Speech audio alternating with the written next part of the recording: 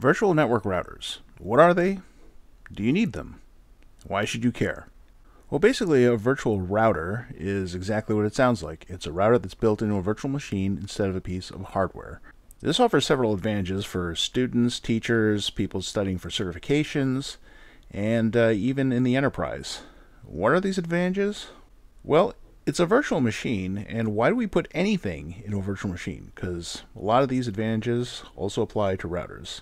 So first is the lower total cost of ownership of anything in a VM. Uh, you're not paying specifically for hardware specific to that router or PC. It's eating less energy, generally, than a device with its own power supply. And of course, it takes up a lot less room, which is pretty important if you have a small house or apartment. In addition, virtual machines are easier to set up and reimage, which is particularly important for people doing a lot of labs, like networking people. What is specifically good about virtual routers? Well, Many of the images that you're going to use are actually free. And this is really good news for students as well as anyone else, but particularly for students because, you know, school's pretty expensive. So the images are free, but also you can do this on completely free hypervisors, and I'll get into some of your good choices there. And finally, if you're used to hardware labs where you're buying all stuff from one vendor, say Cisco, which is quite typical, or if you're using a simulator like Packet Tracer, uh, you're not going to see any other vendor's devices if you're using virtual routers, you can use anyone's devices provided that you have a valid image for it. You can even mix up the vendors in the same topology, which is something that you would almost never be able to do using any other setup except for an extremely expensive hardware rack. So there's a lot of advantages there, but there's also a couple of things which are not as good about virtual routers, and I want to touch on them here real quickly just so you know what your limitations are. Uh, it's definitely not as complete a learning experience as you can get with hardware. With hardware, you're going to get layer 1 problems like bad wiring, cables gone bad, ports uh, go bad. That's not going to happen in an emulated environment. In addition, the hypervisor and or the emulator are potential points of failures. Uh, this is a problem that I ran into when I would run into a bug or something that just didn't work, and I would wonder, did I configure it wrong? Or is there something wrong in my router image or my emulator? And finally, no matter what anyone says, uh, emulators and virtual machines are still very, very bad at switching. VMs are really good at layer 3. They're terrible at anything layer 2 or below. And specifically for networking, this is because hardware switches rely a lot on ASICs, which are hardware components, and you cannot effectively emulate them in software. If you're serious about studying advanced switching, I would still recommend getting some hardware switches. You can even tie them into your emulator. There's a lot of people who do that, and it's a perfectly fine setup for advanced switching labs. All right, let's say that you want to get into virtual routers or you just want to try them out. What do you need to get? What kind of tools do you need to download? Besides the host that you're using, of course.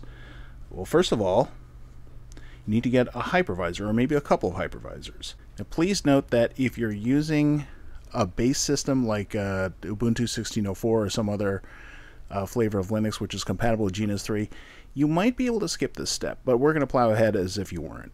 Your best choice for hypervisors is definitely VMware. It's widely used, it has a ton of support, and most importantly, it is the best way to handle nested virtual machines. That's where there's a VM inside a VM, maybe inside another VM. It's VMception here, but you definitely need to have that capability if you're trying to run something like GNS3 or even G on Windows or Macintosh. There are a couple of versions of VMware. There's, of course, the paid version, which can get outrageously expensive, especially if you're a student. There's also VM Workstation Player, which is their free version. And this works perfectly fine for one VM, not so much for more of them. So if you don't want to spend any money and you absolutely have to run GNS3 in Windows or Mac OS, get this version of VMware and use that to run uh, either the GNS3 VM or the EVE-NG host. There's also VMware ESXi, which is the Type 1 bare metal hypervisor. You install that on a server and then you remote into that server and you set up a whole bunch of VMs. That's also doable, but ESXi is a little different from the typical workstation installations of VMware. So I strongly suggest that you get familiar with ESXi and read up on any specific installation instructions.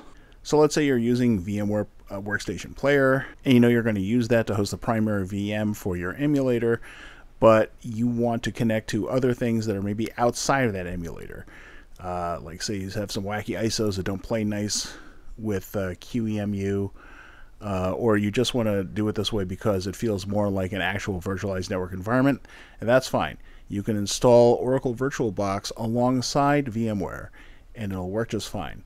It's not a good choice to host the primary server because it doesn't do nested VMs well, but it works perfectly fine for hosting single VMs like, say, a router.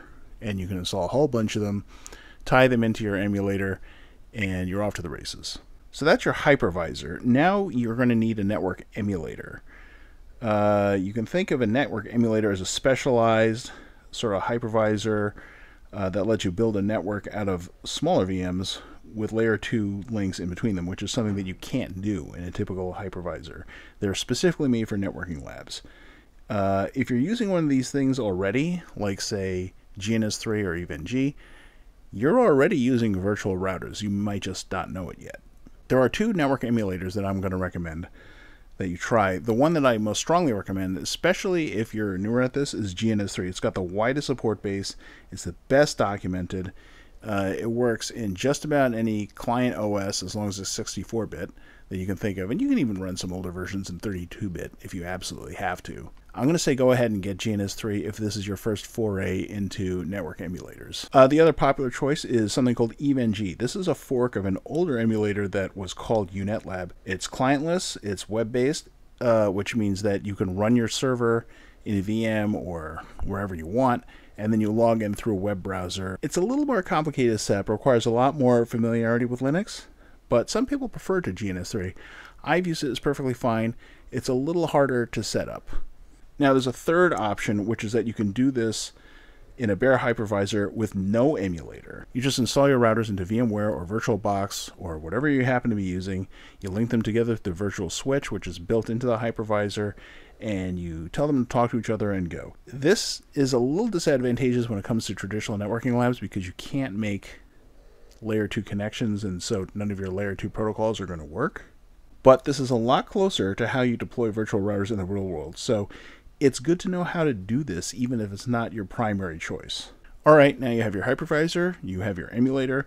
Last thing you need is router images. In most emulator videos, this is where the guy points you to kind of a dodgy website with a weird extension where maybe you can get some 10 or 15 year old Cisco IOS versions and maybe a little something extra for your trouble. That's not what we're doing here. Not going to judge you. Enjoy your rootkit. What I'm talking about are legitimate free router images. I mean, there are some that are paid to, but I'm concentrating on the free ones that you can install into VMs and work up in the emulator of your choice. This was a college project for me, and I chose three router engines to try. Uh, the first was something called VyOS, which is a free open source fork of an older project called Vyatta, which was then kind of bought and shut down by Brocade, and now I think AT&T owns it.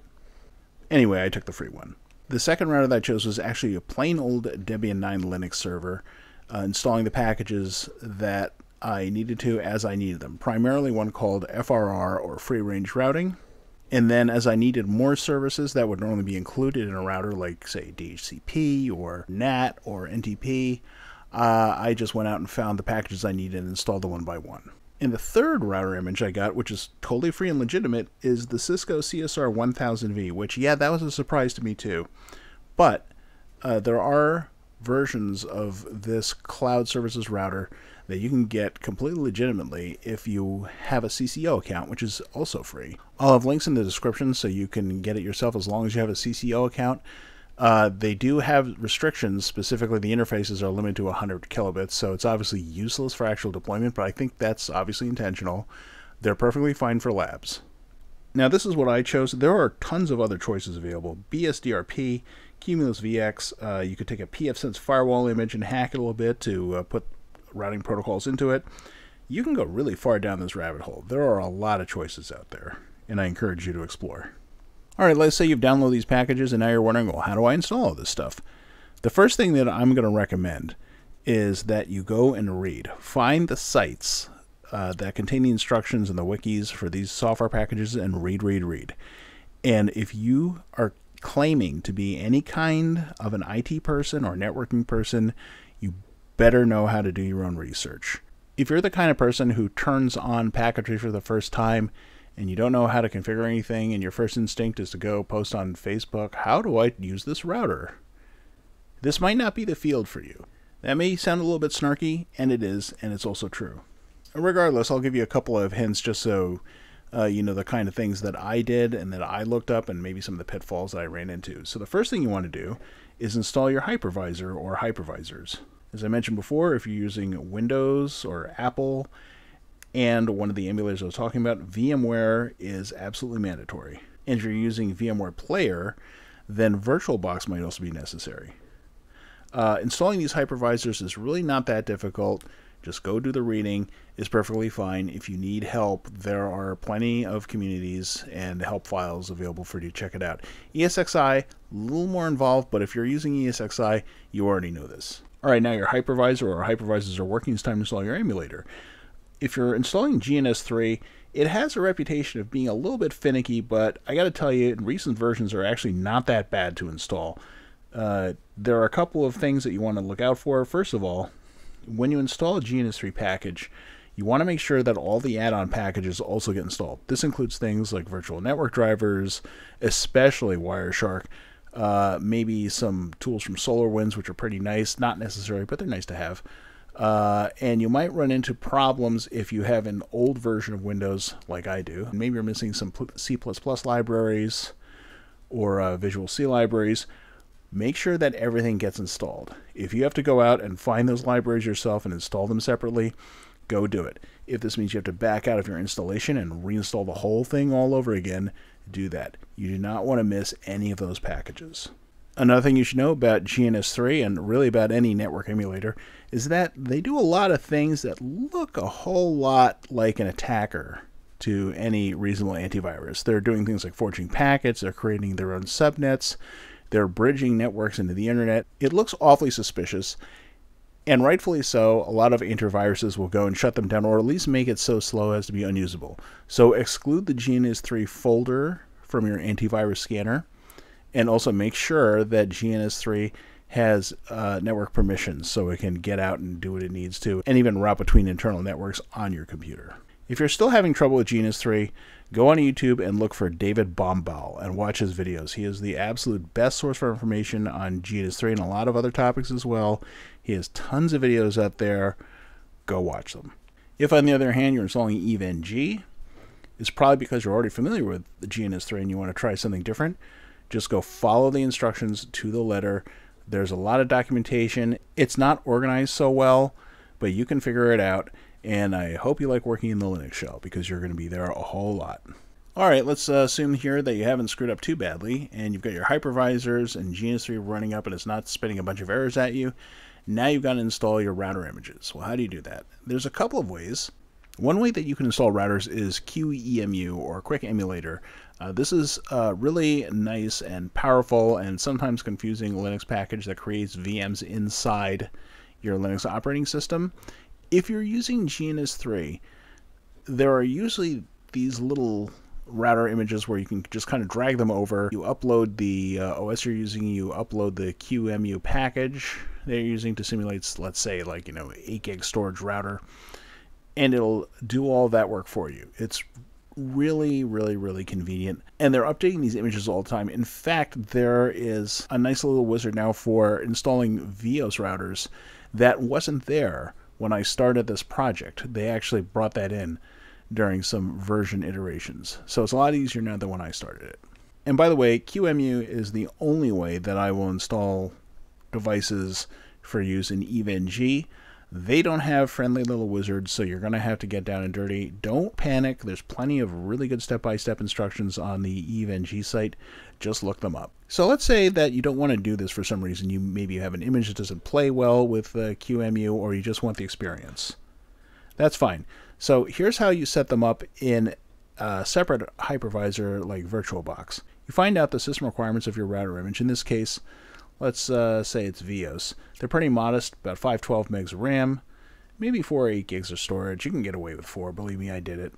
Uh, so then you create a new VM, uh, name it whatever you want that you're going to remember. Set up your system resources, you're going to want to make sure you have four network cards. Pro tip, you can actually get up to eight, but you have to do some command line chicanery with VirtualBox to make that happen. Make sure that they're not attached. Uh, the reason you're doing this is that when these devices connect to GNS3, GNS3 is going to take over the configuration of these network devices, and so you want to leave them unattached so GNS3 can go ahead and do that. Add the ISO image to the optical drive uh, boot it up, and go through whatever installation procedures are required. Now, if you are doing this and using an external hypervisor for your routers, you're going to need to have one virtual machine for each router in your topology. That's because your configurations on an external hypervisor are saved with the VM. They're not in a separate config file that applies to the same image like QEMU works. So when you create a new router using your ISO, you're going to make sure that you have as many copies of it as you need for your topology. So now you have a working router and you've got to link it to GNS3. There's a pretty simple menu way to do this. You just go into the settings and I'll just kind of run through the steps here. You want to go to preferences and then you'll see down here you've got a bunch of options. Here we're using VirtualBox, so you select VirtualBox VMs. Then you look down here, you might have to scroll down the list as you can see I've got a ton of them here. Uh, you want to hit new and then just run through the steps there after you're done, you may have to reconfigure it so that it appears in the correct group and it looks the way that you want it to, and it, most importantly, that it has enough network adapters. And then it's ready to use. So now you have hypervisors, you have an emulator, you even have router images, and you're pretty sure that they work. Well, what do you do now? Well, now you got to go get some labs. There's you have a couple options here. It's pretty much like anyone trying to get labs for GNS3. You just have to look around. If you have packet tracer labs, say you were a Net Academy or whatever, you can just convert them uh, as best you can, which is a good way to find out what your new routers can do and can't do, especially if they're not Cisco routers. There's also some places like GNS3 Vault and Free CCNA Workbook, which have a lot of labs that you can try out. If you're working on a specific concept, you can and should make your own labs. You create the bare minimum topology you need to implement whatever it is that you want to implement. Uh, then you try it out, see if it works, and then fix it. And finally, if you really want to, you can have my test topology that I created uh, for this uh, college project. I'm just going to put a link down in the description. It's a little bit involved, and some of the router images actually have problems with certain section of it, but that's fine. That's part of the discovery process. Now, while you're working with unfamiliar routers, most of what you'll be learning is the syntax that that router uses, but sometimes there are some gotchas. Uh, you may find some of your own. Here are a couple of mine that I found that may be useful to you. If you are linking GNS3 to uh, external hypervisor, specifically VirtualBox for your routers, you're going to run into some strange bugs, or you could run into some strange bugs involving your interfaces. Specifically, you'll find that maybe you'll have a problem where 802.1q subinterfaces just don't work at all, or DHCP relay is broken. This bothered me for a very long time uh, until I tried the following fix. You go into GNS3 where you're configuring your uh, NIC types, change them to Virtio or paravirtualized interfaces. Uh, for some reason, the default value of emulating an Intel uh, network interface card just causes all kinds of problems when you're linking VMs from an external hypervisor. I'm not sure why, I have a couple of theories, but I haven't had time to really investigate it. Just switch this to Virtio and uh, avoid a lot of problems. If you're using VyOS 1.1.8 as I did, uh, there is a bug that got through in this version where LLDP will not work at all unless you fix some dependencies. Uh, I'll have instructions for how to do that down in the description in case you want to know that basically you're just creating symbolic links to some newer cryptography packages. If you're using Debian Linux with the FRR package, a lot of your standard routing configuration is going to be done in something called VTYSH, which is the virtual terminal shell. Uh, there is a problem that I found where you cannot assign an interface to take an address from DHCP. You're going to have to do that the old fashioned way.